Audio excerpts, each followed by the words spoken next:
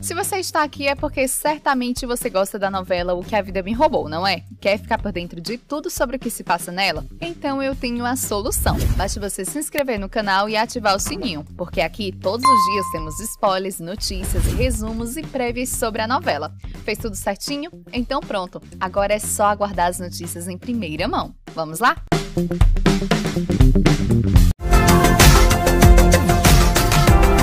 Eugênia Silva no capítulo 48, quarta-feira, 24 de junho. Angélica, muito feliz, diz a Alessandro e Monserrat que adoraria ser madrinha do bebê e que acha muito romântico que eles voltem a se casar.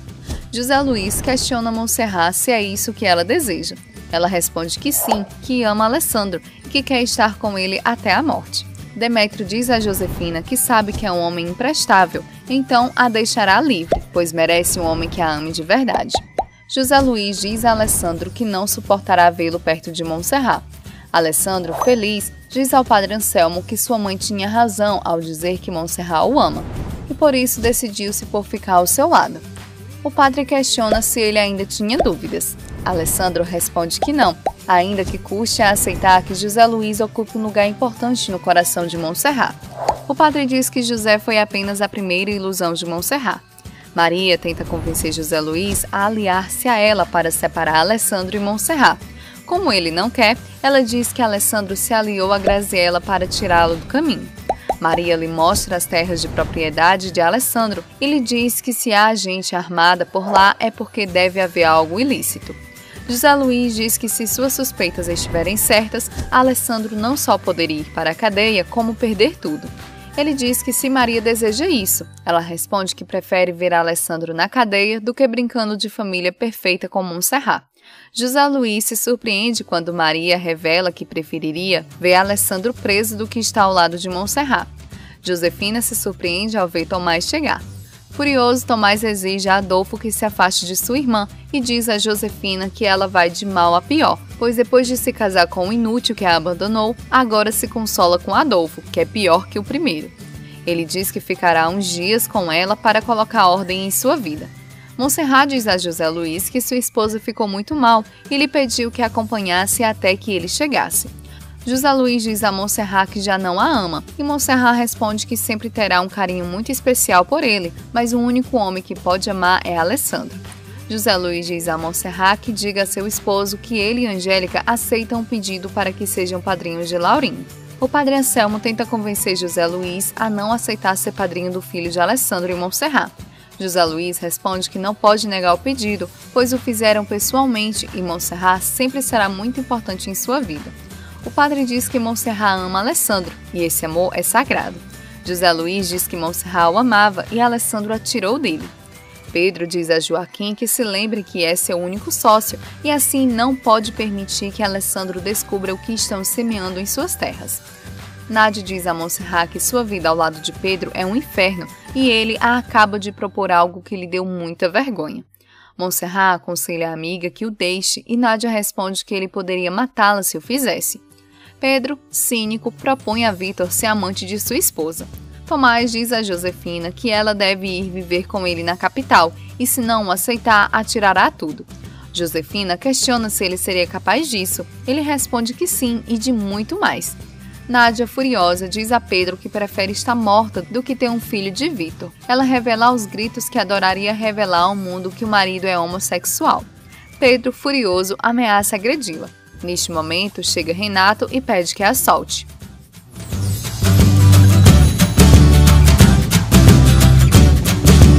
Capítulo 49, quinta-feira, 25 de junho. José Luiz chega e se surpreende ao ver Renato ameaçando Pedro com uma arma. Renato diz que Pedro estava a ponto de agredir sua esposa.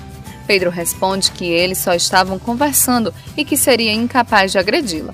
Nádia concorda com o marido um homem encontra Maria e tenta seduzi-la. Ezequiel se dá conta e ordena a Adolfo que o mate. Ele responde que não. Ezequiel mata o homem e adverte Adolfo que se ele voltar a desobedecê-lo, será morto.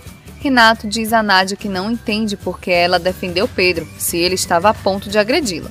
Nádia responde que está confusa. Pedro diz a Ezequiel que José Luiz se apresentou em sua casa para lhe fazer perguntas sobre as terras de Alessandro e o que nelas cultivam. Ezequiel manda de imediato que queimem todo o cultivo para apagar toda a evidência. Pedro ordena que ele não faça, pois na marinha todos sabem que essas terras pertencem a Alessandro e é ele quem pagará pelo que é cultivado no local. Adolfo diz a Pedro que não quer trabalhar com ele. Pedro responde que já está mais que metido em suas coisas e que não sairá mais dos negócios. O capitão Robledo diz a José Luiz que já mandou um fiscal às terras de Alessandro. Pedro diz a José Luiz que nas terras de Alessandro existem cultivos ilícitos e isso fará ser detido imediatamente. José Luiz diz a Alessandro que a Maria já descobriu que estão cultivando drogas em suas terras e que há uma ordem para detê-lo.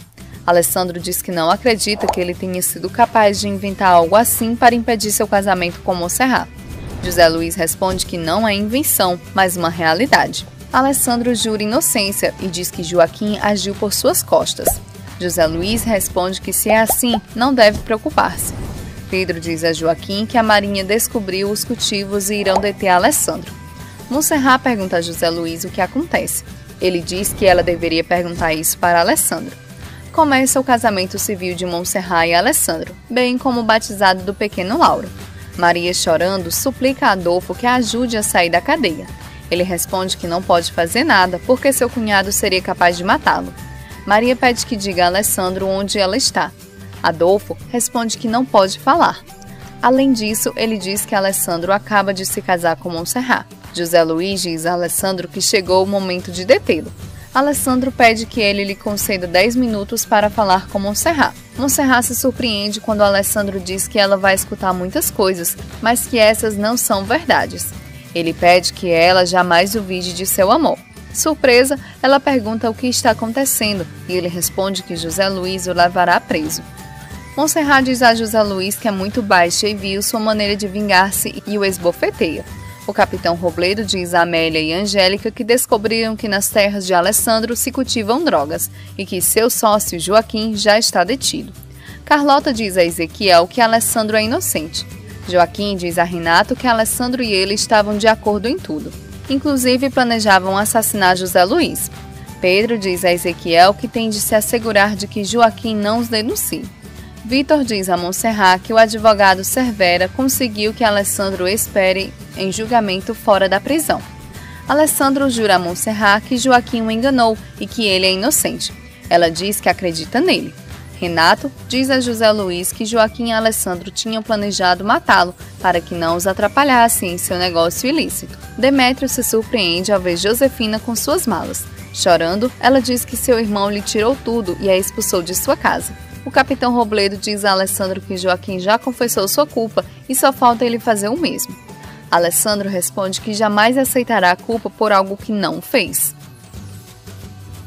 No capítulo 50, sexta-feira, 26 de junho, José Luiz diz a Alessandro para ser sincero. Alessandro diz que é inocente e que se José Luiz acreditar nisso, impedirá que uma injustiça aconteça com ele. José Luiz responde que sabe que ele não é esse tipo de pessoa, então tentará não permitir que isso aconteça com ele. Alessandro diz que, mesmo sendo difícil, nada nem ninguém vai separá-lo de Monserrat e seu filho. Demétrio diz à sua mãe que Josefina ficará com ele enquanto se reconcilia com seu irmão. Graziela responde que não permitirá, então Demétrio diz que aquela também é sua casa. José Luiz diz a Alessandro que Joaquim confessou que ambos estavam em comum acordo para assassiná-lo. Alessandro desmente a história. O capitão Robledo diz a Joaquim que não acredita que Alessandro seja seu único sócio. Demétrio diz à sua mãe que se ela não tratar bem Josefina, ele confessará um de seus segredos a Alessandro. Graziella, chorando, diz que o filho acaba de destruir seu coração. Alessandro diz ao capitão Robledo que eles deveriam investigar a Pedro também. O advogado Cervera, Alessandro e Demétrio se dispõem a abrir o um envelope com o exame de DNA para saber se Demétrio é filho de Benjamin Almonte. Pedro chega e diz que é o advogado de Demétrio. Cervera diz que o exame deu positivo, mas é impossível que a amostra seja de Demétrio. Alessandro, furioso, diz que tentaram fazê-lo de bobo. Demétrio acusa Graziella de tê-lo enganado com o exame de DNA. Demétrio diz a Josefina que não suporta sua mãe, assim o melhor é que partam. Josefina pergunta onde irão viver e alerta ao esposo que ele precisa trabalhar. Rosário diz a Alessandro que chegou uma mulher procurando por seu pai e dizendo ser sua sobrinha. Monserrat diz que se supõe que Benjamin não tinha parentes, por isso Alessandro herdou tudo. Alessandro responde que não tinha conhecimento dessa sobrinha. Alessandro diz a Fabiola que seu pai morreu. Ela se surpreende e diz que não sabia que seu tio tinha um filho, pois ele jamais lhe disse nada. Amélia diz a Macário que Benjamin levou a filha de Graziella para os Estados Unidos, a deixou com sua irmã e pediu que ela e seu esposo a criassem como se fosse deles. Amélia ainda diz que ninguém sabe que essa menina existe, além de Graziella. Fabiola diz a Alessandro querer ver o testamento de seu tio, pois ele já havia confessado que tudo o que tinha seria para ela. Alessandro responde que seu pai sempre o renegou, mas antes de morrer, por meio do padre Anselmo, Benjamin o reconheceu como filho. Terminamos mais um vídeo. Gostou do conteúdo? Quer ficar por dentro de mais? Então eu tenho a solução. Basta você se inscrever no canal e ativar o sininho, porque aqui todos os dias temos spoilers, notícias, resumos e prévias sobre a novela. Fez tudo certinho? Então pronto, agora é só aguardar as notícias em primeira mão. Um super beijo, tchau, tchau e até o próximo vídeo.